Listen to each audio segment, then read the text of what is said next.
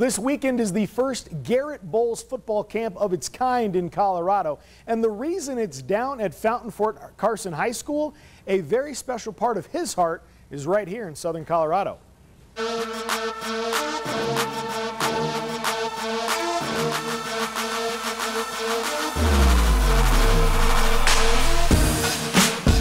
Call it a reboot, not a rebuild for Garett Bolles.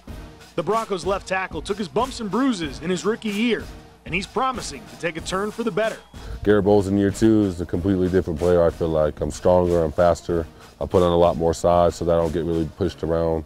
Um, and uh, not only that, but I have great coaches. I'm not going to be going backwards. I'm going to be getting on them fast and using you know my athletic ability to to craft my game so that I can be the best left tackle in the game. He made a quick impression with the team, from his physical play and the penalties to his big personality and a few of the things he'd say. To quote you, my quarterback is like my wife. If you touch her, you're in trouble. Did that get you in trouble on the field?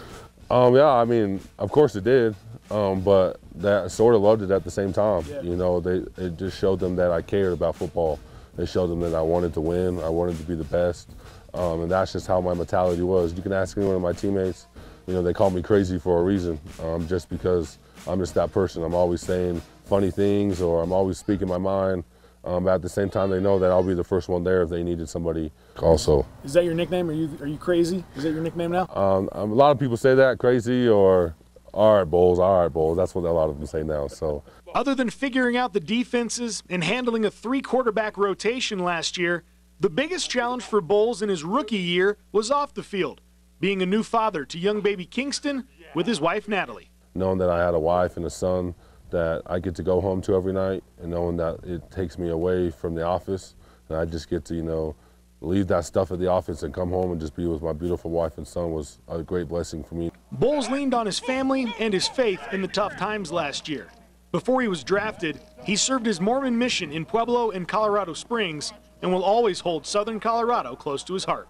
Uh, they're probably the most loving people I know in kindness. Um, I, I, didn't think I hear one thing bad that they said. They were always eager and, and wanted to, to listen. But I have, I have a special connection down there. I have a lot of people I love and continue to keep in contact with. And, you know, I call them family. You know, Southern Colorado is family to me, knowing that I served those people for so long. And the food's outstanding down there. I don't know if too much people know about the food down there, but it's fantastic food. Um, and that's what I, that's probably what the biggest thing is the food. And, but, uh, no, I'm just kidding. But the, the people are awesome. I'm, I'm very grateful for the friendships and um, the, the love that I have for them. We did talk to Gary about a couple sloppers down in Pueblo. Mm. He didn't have one when he was down there, so what? we might have to ship one up to Dove Valley and have a whole team have a couple sloppers. I'm thinking nice. a couple isn't going to cut him with that like, guy. Yeah, he probably needs about six or seven couple, of them. A couple dozen, maybe. yeah. How about a couple dozen? He's a big boy.